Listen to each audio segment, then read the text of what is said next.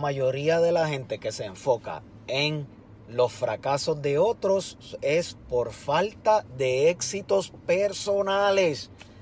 Siempre están enfocados en en qué falló, qué hizo, qué no le funcionó, qué no, te, qué no lograste hacer, qué no cumpliste, pero es porque ellos no tienen nada que hacer, es porque ellos no han logrado nada en la vida. Inclusive hasta te dan a veces, eh, te voy a dar un consejo constructivo, que yo lo he dicho en otros videos, consejo constructivo, cuando no han construido nada.